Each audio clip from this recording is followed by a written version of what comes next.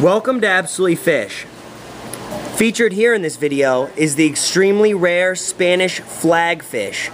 Indigenous to the Caribbean, in order to catch this specimen, you must go 500 feet below the surface where you have a 10 minute window to catch the fish before returning.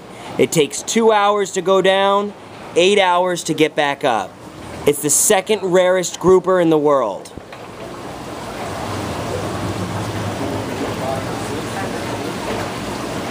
For more information, check out our website at www.absolutelyfish.com. Thanks for watching.